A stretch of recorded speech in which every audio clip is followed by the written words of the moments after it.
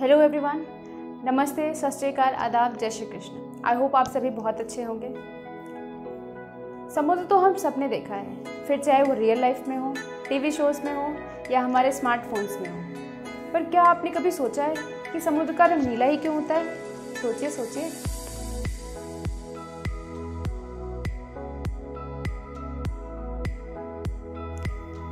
पर सीवी रमन ने न सिर्फ़ ये चीज़ सोची पर इसके लिए काम भी किया।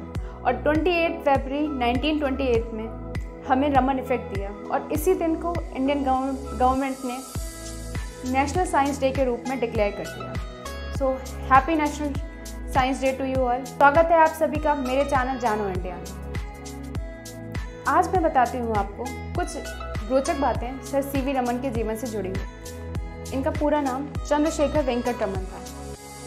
और इनका जन्म सेवेंथ नवंबर 1888 में तिरुचिरापल्ली में हुआ था। ये एक साधारण से परिवार से थे। इनके पिताजी एक लोकल हाई स्कूल में टीचर थे।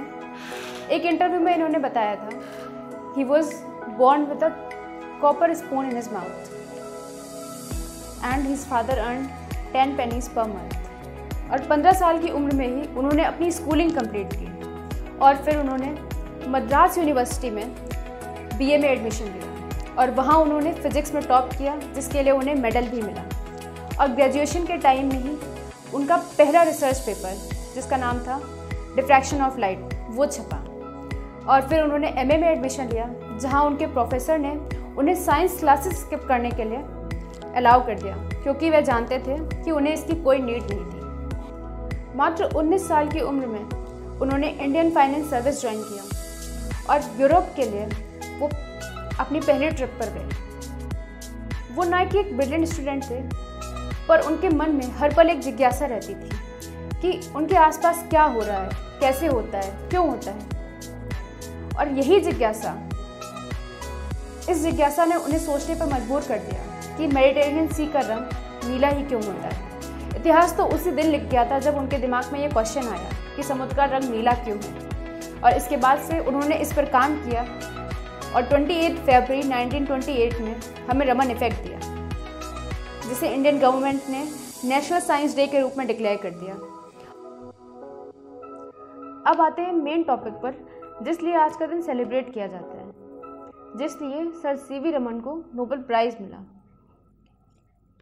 आखिर रमन इफ़ेक्ट है क्या?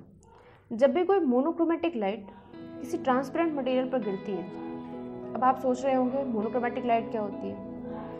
ऐसी लाइट जिसमें सिंगल वेवलेंथ और सिंगल एम्पलीट्यूड हो, उसे हम मोनोक्रोमेटिक लाइट कहते हैं। तो जब भी कोई मोनोक्रोमेटिक लाइट किसी ट्रांसपेरेंट मटेरियल पर गिरती है तो वह स्कैटर करती है। और उसमें उस एम्पलीट्यूड और वेवलेंथ वाली लाइट के साथ साथ कई और भी फ्रीक्वेंसी और एम्पलीट्यूड्स की लाइट ऐड हो जाती है। अब रेनबो तो हम सबने देखा है। रेनबो में कलर्स होते हैं violet indigo blue, green, yellow orange red जो तो हम सबने पढ़ा है। तो वॉयलेट जो होता है, वो सबसे कम वेवलेंथ का होता है और जो रेड होता है, वो सबसे हाई वेवलेंथ का होता है। अब वाटर तो होता है कलरलेस अब ऐसा तो है नहीं कि टी में किसी ने इंक डाल दी और उसका कलर ब्लू हो गया।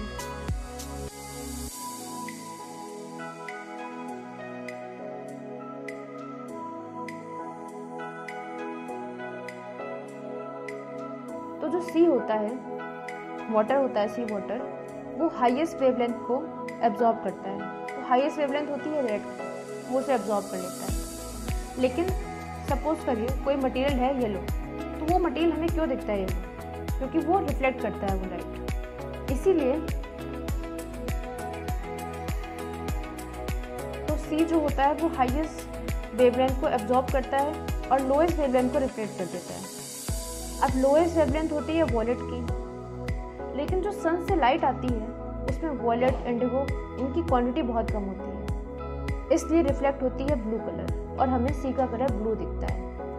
और ये एक्सप्लेनेशन दिया गया था रमन सर के द्वारा। और इस वजह से उन्हें मेरा नोबल पुरस्कार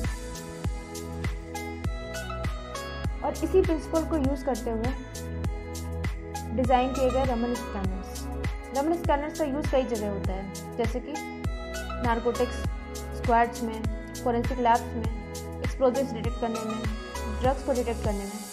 हम मेट्रो में ट्रैवल करते हैं तो एंट्री पे चेकिंग होती है। तो वो जो चेकिंग के लिए डिवाइस यूज़ करते हैं, उनमें रमन इफ़ेक्ट का ही प्रिंसिपल यूज़ होता है और उन्हें कहते हैं रमन स्कैनर्स और इस खोज के लिए उन्हें 1930 में नोबेल प्राइज़ मिला।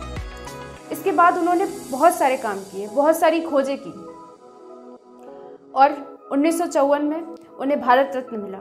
इसके बाद उन्होंने कई सारे अवार्ड जीते, जैसे कि Matteucci award Franklin peace prize Hughes award 21 नवंबर 1970 में भारत ने अपना ये अनमोल रत्न खो दिया।